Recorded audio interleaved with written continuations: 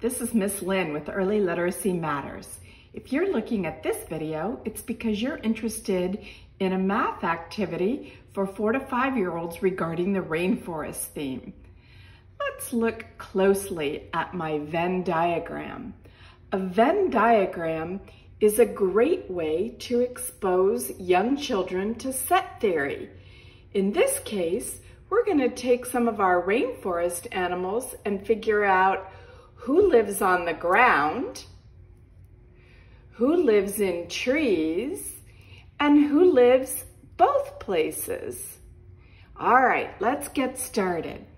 So in my collection, I have a butterfly.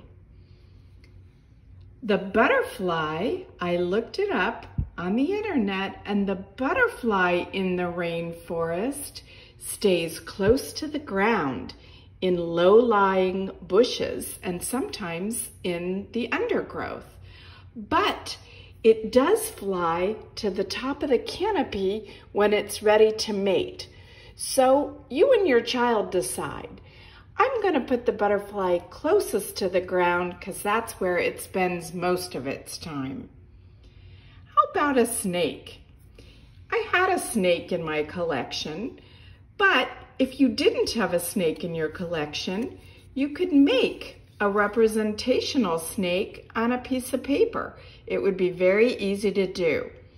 I found out that snakes in the rainforest like to be on the ground and in trees.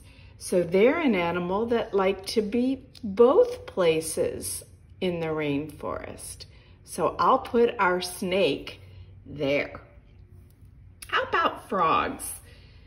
I had a frog in my collection and if I didn't, I could make a representational frog on a piece of paper. I found out by reading about frogs that frogs start their lives on the ground near water. And you guessed it, later in life, they like to be in trees. So the frog is like the snake. It likes to be in both places in the rainforest. All right, what do we have here? I didn't have a jaguar, so I made a jaguar out of cloth. You can use things around your home to represent various rainforest animals. So here's my jaguar. I found out by reading about the jaguar that he spends most of his time on the ground, but he can lounge in the trees like other big cats we know, like lions in the in the Af in Africa. So we're gonna put the jaguar in both. He likes the ground and he likes to be in the trees.